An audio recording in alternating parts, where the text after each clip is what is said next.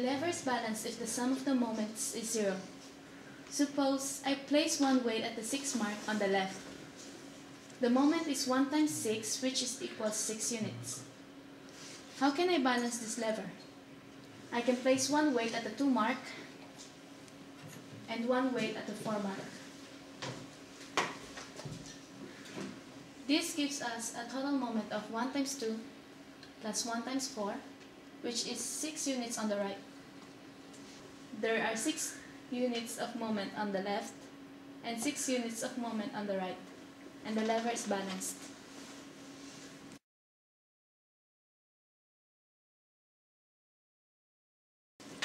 Suppose I want to find the weight of this wooden block. I place it at the 2 mark. The moment on the left is 2 times x, which is 2x. I place two weights at the 4 mark on the right.